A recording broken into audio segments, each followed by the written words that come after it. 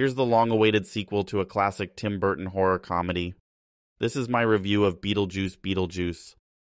The movie is about Lydia Deetz, who has just lost her father and is still traumatized by notorious ghost Beetlejuice.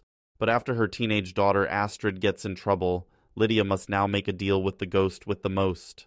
I was somewhat excited hearing about a Beetlejuice sequel coming out, especially considering I was a fairly big fan of the original movie and the animated series when I was a kid in the 90s. This movie visually looks good along with a solid updated music score from Danny Elfman, but the plot is too all over the place and just not as focused as it could have been. Michael Keaton, Catherine O'Hara, and Winona Ryder return giving decent performances, and I also really like the addition of Jenna Ortega as Astrid. Altogether, the film matches a lot of the original movie's elements, but the script really should have been tightened up more.